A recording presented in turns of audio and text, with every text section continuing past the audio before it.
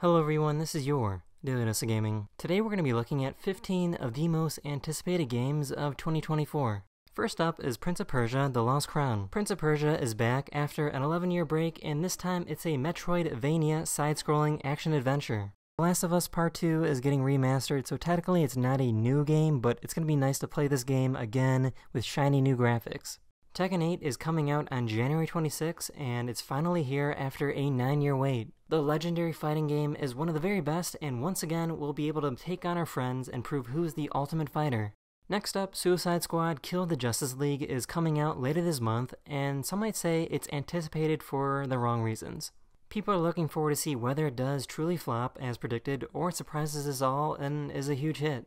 Skull and Bones, coming out on February 16th, is anticipated for the same reason as Suicide Squad, but will it be any good? Who knows, but we do get to play as a pirate, which is pretty cool. Mario vs. Donkey Kong, it's the matchup of the century. You get to play as Mario in various puzzle based platforming levels trying to track down Donkey Kong. You know, the usual stuff.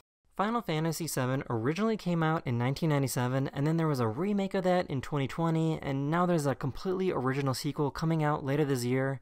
I know it's a little confusing. We'll figure it out. Alone in the Dark is the reimagining of the original game that came out in 1992, where private investigator Edward Carnby, this time played by David Harbour, and Emily Hartwood, played by Jodie Comer, travel to Derceto Manor to investigate the disappearance of Emily's uncle. So expect to see some supernatural scares and Resident Evil-esque action. Rise of the Ronin is the second PlayStation exclusive to have you don the hat of a samurai. However, instead of having it be set in the 1200s like Ghost of Tsushima, we're fast forwarding to the 1800s and the action adventure will be set against the backdrop of the Edo period, with the game allowing you to make your own choices that will impact the story. It feels like 2024 is the year of games making a return. Dragon's Dogma 2 is the sequel that fans have been waiting 10 years for. The action RPG sees plenty of sword swinging and monster slaying, and of course, dragons. Princess Peach is finally getting her first chance in 19 years to be the main character in a game, but unfortunately for her, she shares a release date with a samurai and a crazy fantasy RPG.